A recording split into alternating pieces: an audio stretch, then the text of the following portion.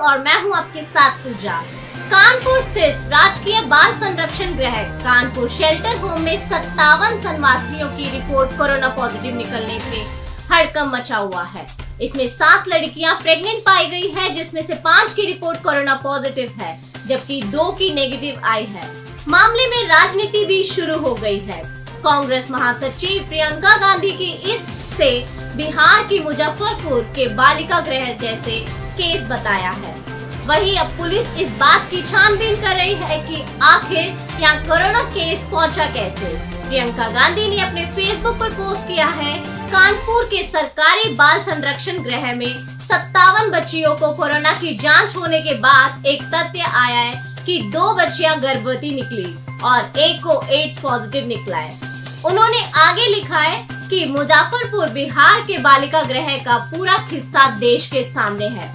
UP में भी देवरिया ऐसे मामले सामने आ चुके हैं। ऐसे में इस तरह की घटना सामने आना दिखाता है कि जांचों के नाम पर सब कुछ दबा दिया जाता है। लेकिन सरकारी बाल संरक्षण गृहों में बहुत ही आम अमानवीय घटना घट रही है। पिछले कई दिनों से बाल संरक्षण गृह में कोरोना के टेस्ट किए जा रहे हैं, जिनमें से अब तक कुल 171 पॉजिटिव पाए जा चुके हैं।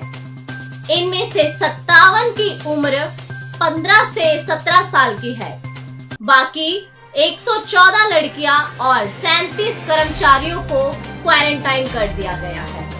कानपुर पुलिस अब इस तथ्य की जाँच कर रही है कि आखिर संवासनी ग्रह में कोरोना फैला कैसे। शेल्टर होम के अधिकारियों को संदेह है कि कोई कोविड 19 पॉजिटिव कर्मचारी इसका सोर्स हो सकता है क्योंकि वह यहाँ बढ़ती लड़कियों को उनके इलाज के लिए अक्सर अस्पताल लेकर जाती थी। अधिकारियों का यह भी कहना है कि इस महीने छह लड़कियाँ शेल्टर होम आई हैं, जिनमें से एक पॉजिटिव पाई गई है। महिला आयोग की सदस्य ने कहा कि बालिका गृह में काफ़ी लड़कियाँ पॉक्सो एक्ट में आती है। कम उम्र की होती है और उन्होंने वहाँ रखा जाता है। जब बच्चियों को हेल्थ अस्पताल भेजा गया था तो हमारा स्टाफ भी साथ में गया था। तो किसी के टच में आकर संक्रमण फैला होगा। राजकीय बाल ग्रह में किसी भी पुरुष का जाना वर्जित है। वहाँ पर मेरा स्वयं का भी दौर होता रहता है। आप लोग इसे अन्यथा नहीं ले। बता दें कि एक सप्ताह पहले ही संवासनीय ग्रह की एक महिला कोरोना पॉजिटिव पाई गई थी। उसके बाद 18 जून को एक साथ 33 महिला की कोरोना रिपोर्ट पॉजिटिव आई थी। 19 जून को 16 और संवासनियों में कोरोना संक्रमण की पुष्टि हुई। 20 जून की रात जाँच रिपोर्ट में 8 और कोरोना पॉजिटिव केस सामने आए।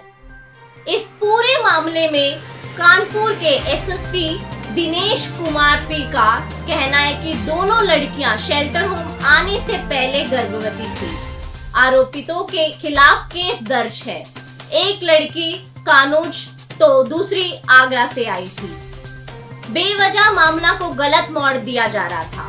तो आज के लिए बस इतना ही। और खबरों के लिए जुड़े रहिए हमारे साथ। अगर आपको ये वीडियो पसंद आए तो लाइक ज़रूर करना और हमारे चैनल को सब्सक्राइब करना ना भूलना। धन्यवाद।